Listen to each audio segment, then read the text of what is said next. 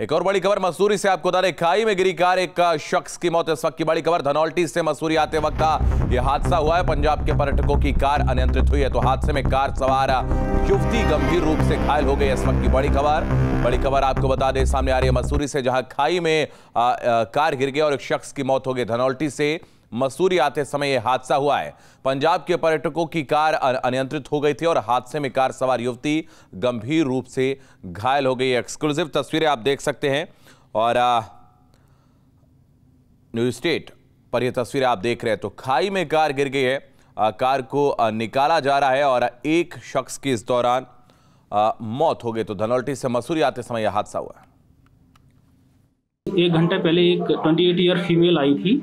जैसे कि मेरे को पता चला कि कोई गाड़ी गिरी और एक्सीडेंट हुआ है तो मैंने उसको थॉरली चेक किया फीमेल को शीज़ ओके उसके सुपरफिशियल एब्रेजन है और उसको फ़र्स्ट एड दे के मैंने उसको डिस्चार्ज कर दिया है।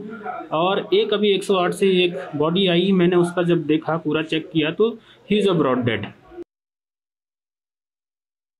Jabarkhet के पास जो है, नीचे रोड पे पंजाब नंबर की गाड़ी कोई नीचे गिर गई थी, जिस पर जो है पुलिस टीम और फायर टीम को जो है मौके पर पहुँची।